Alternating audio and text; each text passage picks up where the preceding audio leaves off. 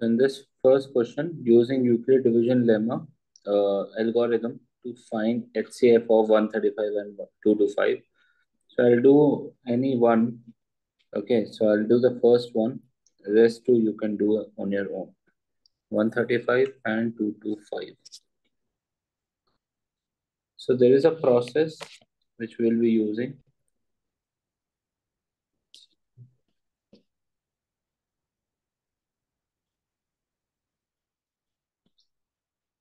So, do you remember the Euclid division lemma?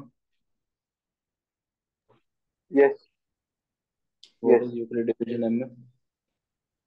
Where A is equals to BQ uh, plus R, where 0 is smaller than or equal to R and R is smaller than B. Okay. So, I call it a equals to BQ plus R, Becker formula, BQ plus R, Becker. Okay. Where R should be greater than equal to 0 and should be smaller than B. So what does this mean?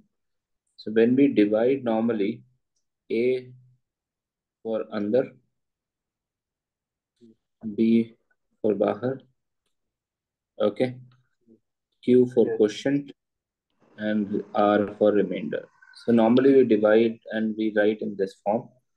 So A equals to BQ plus R. That means divide, uh, dividend equals to divisor into quotient plus remainder. That's a very basic uh, division rule which we have already learned since uh, childhood. Yes or no? This particular rule.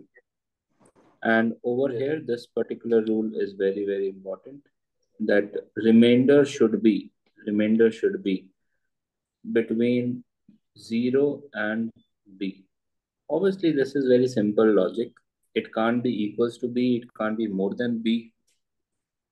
That means the dividend sorry divisor and uh, it can't be less than 0 but maximum lowest value it can have is 0 okay let's go for it.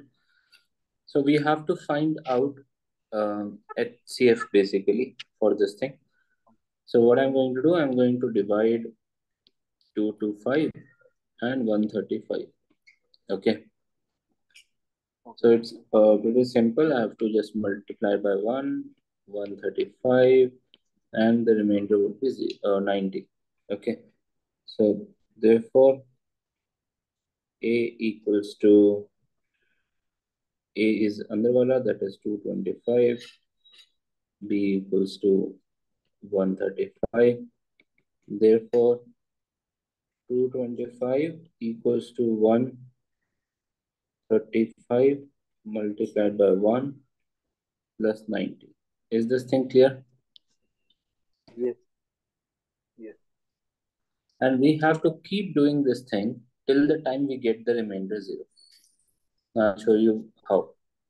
We will write one statement as remainder is not equals to 0. Therefore, using Euclid division lemma again. Okay, now you don't have to write once again the identity, which is this one we don't have to write it again, but once in the question, you should write. Now, if we are taking this red line, what I have taken over here, okay. So the new two numbers are these two numbers, okay, B and R, okay. So as 135 is greater than 90, so we'll divide again. So 135 inside and 90 outside. Again, we have to multiply it by 1. And what is the remainder we are getting? 45? 45.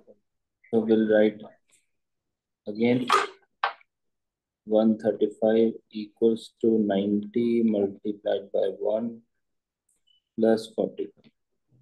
Okay. And we will again write as uh, remainder is not equals to zero. So you using Euclid division lemma again. Okay. Understood? Yes. Now in this case, again, there is 90 and 45, these two numbers. Okay. So as 90 is greater than 45, so we'll keep 90 inside and 45 outside. And this time I'll multiply it by 2 and we'll get 90. That means remainder is 0.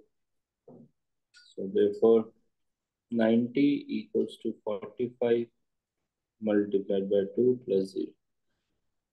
So we'll write as remainder equals to 0. Therefore, HCF equals to B. So what is B in this case? What is B in this case? 45.